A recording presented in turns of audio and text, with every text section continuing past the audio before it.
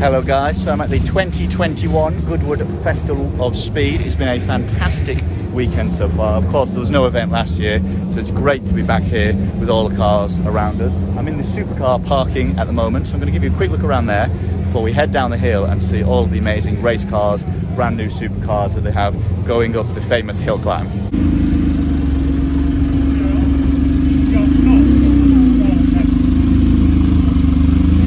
So it's always a pleasure to look around the supercar parking at Goodwood. Fantastic cars show up. These are visitors that come each day in their own cars and the best of the best get stuck here at the top of the hill for everyone to enjoy. So we've got Ferrari F40. And further along here, this is one of the first of these that I've seen in the flesh. Lamborghini Huracan STO. This thing is absolutely bonkers. With that kind of lime green colour loads of angles and aero on that. Then moving around here, we've got all sorts. You've got McLarens, 488 Pistas. This one's got a lot of yellow on it, including on the tyres.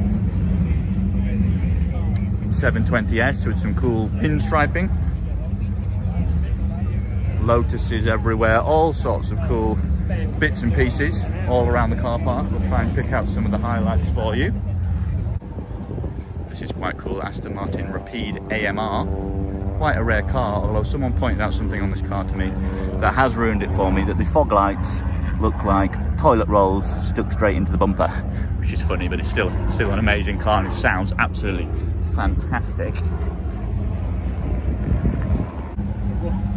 Here we have a RUF CTR in purple, absolutely nuts, bronze wheels interior, attention to detail on the interior is fantastic. That's a really cool thing. Not something that you see every day, even at Goodwood. Something else pretty nice in the car park. Ferrari 250 short wheelbase.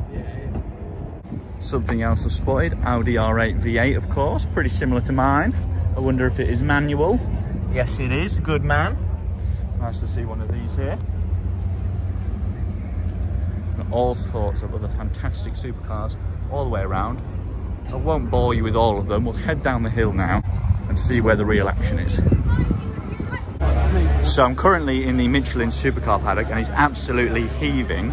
I'll give you a quick look around, starting with probably the most extreme car in here. Is the brand new Aston Martin Valkyrie. It's been a long time coming, but in the flesh, this thing looks absolutely insane. Look at that that must be incredible to drive.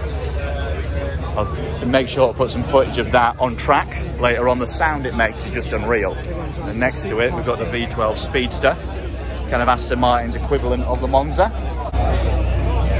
Of course, no windscreen. Moving along, a couple of other Aston Martins, the Vantage Roadster and the DB11. Then over here, we have some Ferraris. If I just pass through the crowd. Monza, SF90 Spider. I Haven't seen any of these really on the road yet. SF90 and a few of the models down there.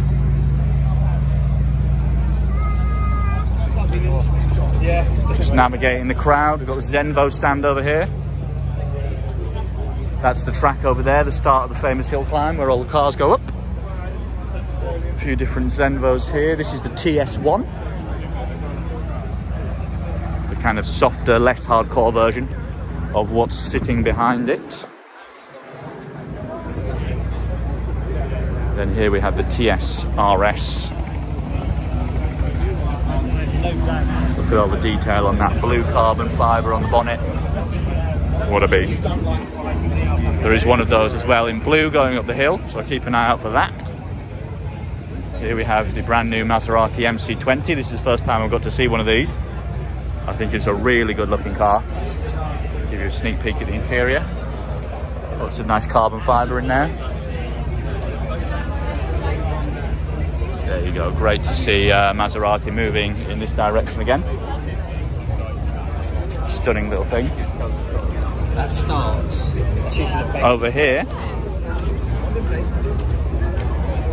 the new McLaren Artura, not a fan.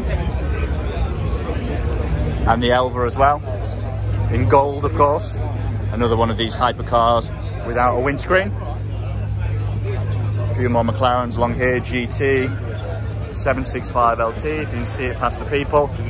And then the 720S GT3X race car. That thing looks nuts. Over this side, we've got the Corvette. If I'm lucky, I might actually be going up the hill in that thing later in the weekend. So I look forward to that. And then this is another beast. Chiron Pur Sport. 1500 horsepower. Really cool. Then Huayra BC Roadster. I'm told that this is a test car and it's actually done in excess of 70,000 miles, which is unbelievable. And interior, lots of people here. Is that the new? That's the Lotus Evija just rolling out, 2,000 horsepower hypercar, full electric. Then this is the Zenvo TSRS, another one. This one's going up the hill. I was actually lucky enough to drive this car a few weeks ago. Here we've got the Lamborghini stand. Satin orange Huracan Evo, that's pretty cool. SVJ Roadster. Then coming along here, this thing is nuts. This is one of the cars that's stolen the show. This is the Essenza SCV12. Believe me when I say this, this car sounds like it's from another planet. I guess it's loosely based on the Aventador, but it is a race car or a track car, and it absolutely howls. I'll see if I can give you a little peek of the interior. Completely stripped out, of course. You can just see it through the window. And this thing is so long, it's ridiculous. It barely fits in the paddock. And then we've got the new Huracan STO, which is also a beast. And quite nice in satin blue. So guys, I'm just trying to hustle my way through the crowd as much as I can. This is the Rimac Nevera, another one of these electric hypercars. 1900 horsepower, 0 to 60 in 1.8 seconds, just ridiculous. Over here, oh, sorry, there are a lot of people here. I'll try and show you what I can. Brand new GT3 Touring, first time I've seen one of these, really like it.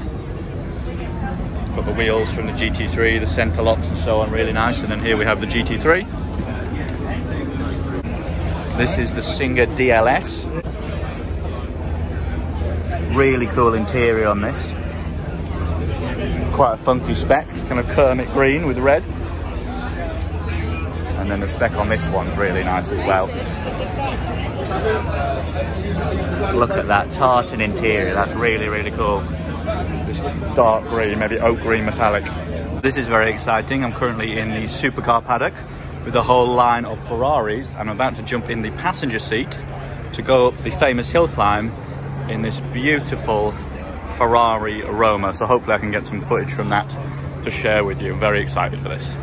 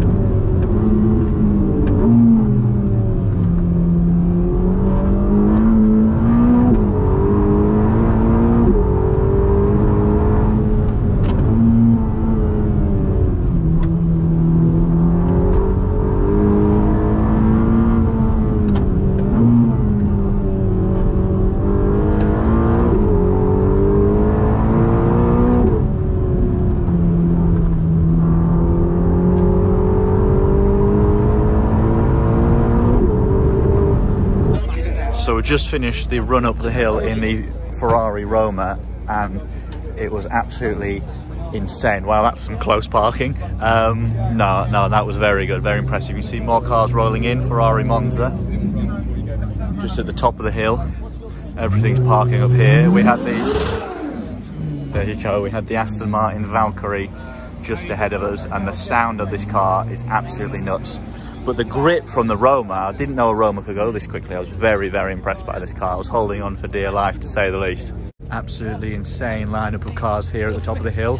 We've got the Lotus Evija, the brand new Lotus Emira, 720S GT3 car by the looks of it, the P1 HDK high downforce kit by Lanzante.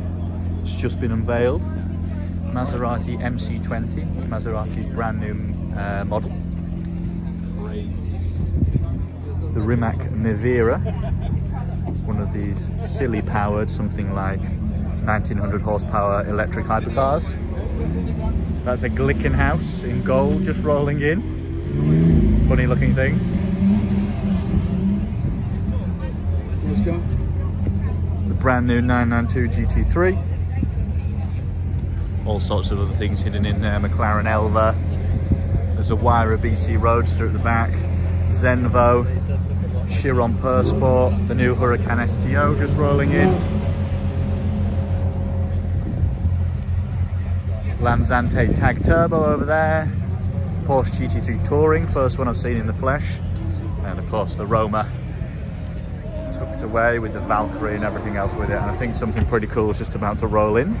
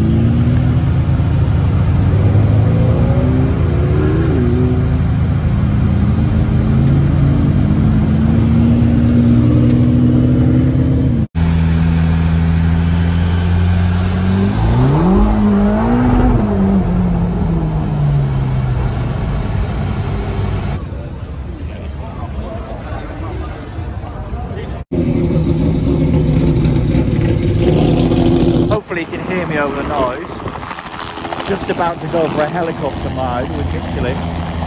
So that's an exciting chance to see Goodwood from a completely different perspective, of course. Excited to get on board, show you some footage from that. Should be a fun little trip.